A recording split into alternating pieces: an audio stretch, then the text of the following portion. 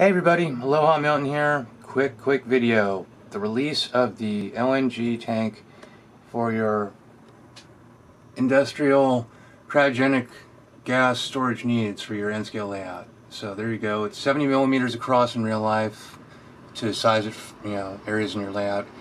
In N-scale, that's about 35 mil or 35 feet across, which makes it a smaller cryogenic storage tank of this type for an industrial facility. A lot of times at that volume, then they start going into the um, like tank-shaped ones that are like long and narrow with rounded ends that are like um, LNG and LPG storage tanks that you see at like a distributor or something. But still, this is realistic. I saw online manufacturers like steel companies that build these things offering 40 foot versions. So I figured 35 good enough.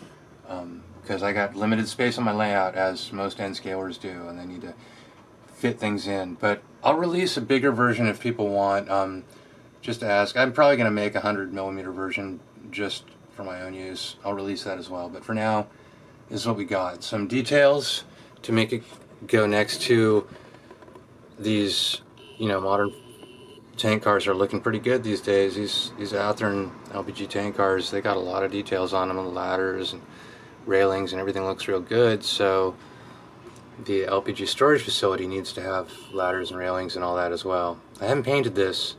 I think it'll look a lot better painted. I may print some parts in gray, the ladder and such. Oops, I've gone in too close and it won't focus. But there you can see the vertical frame underneath the platform has a ladder on it and with some painting that'll all pop out and be nice. Same with the railings. Um, it's got those railings that are curved for that upper ladder turning into a stairway because of the curve of the, of the sphere. It's got upper railing. It's got the pipe for the material.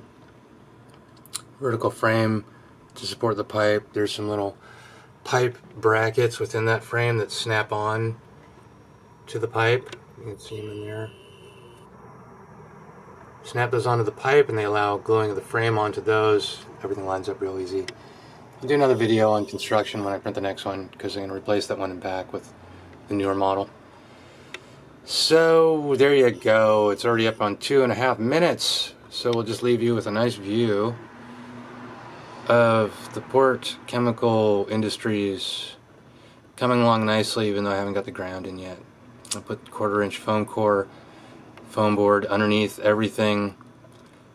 Uh, mark out the track areas on that I cut the track areas out so the track sits down into that material so that I don't have to lay down a quarter inch of plaster to build up the ground surface to the track level because in this industrial area the track is all kind of at ground level. There's not a lot of um, raised up grade or anything like that. Alrighty everybody hope you enjoy the model. Feel free to make comments and suggestions for modifications for the next version which probably improve it and do that and couple weeks when I if there's too many issues on this one that I notice as I go along. I'll be like oh, I gotta fix that. I gotta fix the other thing and the other thing. And if you think there's anything I need to fix as well let me know. And I'll do a re-release in like you know two weeks or a month that's an improved version. Alright